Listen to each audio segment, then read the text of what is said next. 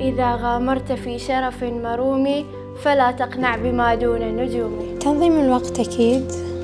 ويعني الأولويات إن تكون المدرسة يعني كأولوية الدراسة يعني حتى في الويكند ما عليه نضحي شوي بوقتنا ويا الأهل ونقعد ندرس. ونركز يعني في المدرسة نحط هدفنا قدامنا وبعدين نسعى عشانه. توكل على الله وبرضا الوالدين. وقت الاختبارات كنت أحاول يعني أبعد روحي عن التلفون أكثر من الأيام العادية. لازم طبعا يكون في حافز يكون يوضع لنفسه هدف وإذا وضع لنفسه هدف يشتغل عليه. ما يتقاعس ويقعد يفكر إنه حطيت هدف بيستوي بروحه لازم يتعب ويجتهد علشان يوصل الشي اللي حاطينه في باله.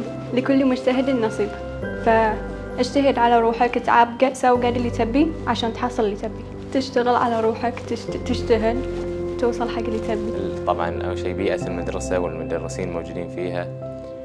واجتهاد وبذل المجهود الطيب يعني. السبب الرئيس في وصولي اللي وصلت له هو القرآن الكريم.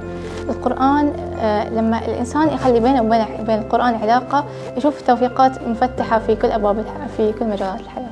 يعني أول حاجة لازم يكون في موازنة بين الصلاة والعبادات. والدراسة. لازم يكون في الدراسة تخصيص أوقات لكل المواد ويعني اجتهاد في كل مادة تدريبات حل اختبارات والدراسة أول بأول وعدم تأجيل المواد. من أهم الأسرار حق النجاح هو تنظيم الوقت لأن تنظيم الوقت يعني ما بيخلي اليوم فقط 24 ساعة بيضاعفها أكثر من 24 ساعة وبيخليك إنه مو بس حق تدرس بعد تمارس هواياتك ويعني وقت يعطيك وقت حق الراحة. you